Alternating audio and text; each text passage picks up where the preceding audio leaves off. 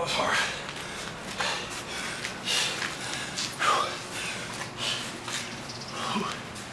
That was brutal. Yeah.